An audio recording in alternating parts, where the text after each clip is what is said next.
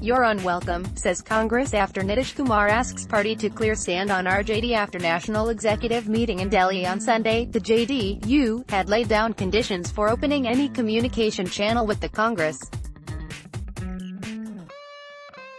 Patna, the Congress has snubbed JDU's advice to reconsider its association with RJD and ruled out any space for Nitish Kumar in the Grand Alliance. After National Executive meeting in Delhi on Sunday, the JDU had laid down conditions for opening any communication channel with the Congress. JDU's General Secretary KC Tyagi, while referring to appeals made to Nitish to reconsider joining the Grand Alliance by many Congress leaders, including Bihar in charge Shakti Singh said Congress should first make its stand clear over alliance with the corrupt RJD. JDU, held National Executive meeting in Delhi on Sunday.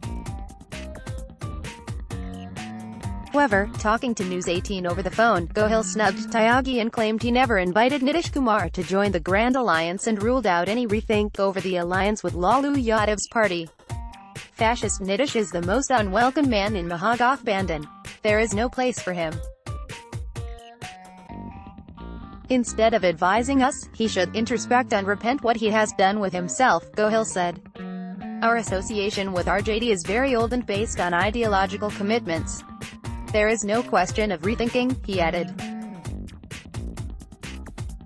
Bihar Congress spokesman Prem Chand Mishra claimed Nitish Kumar was feeling uneasy with the BJP which is why he is exploring options now. Nish knows BJP will hand him a raw deal and his party men are feeling restless so he is just trying to bargain for more seats, he said. The JDU, on Sunday had offered explanation of why it had exited the Grand Alliance, placing the blame on the Congress for failing to act against RJD despite allegations of corruption. Nitish Kumar had gone to meet Rahul Gandhi and took up the issue of corruption cases with him. Lalu was convicted and cases were registered against his deputy CM, son, Tejaswi Yadav. We had expectations from him. Tyagi said. Tyagi said that the alliance was ended by the Congress Party and not the JDU.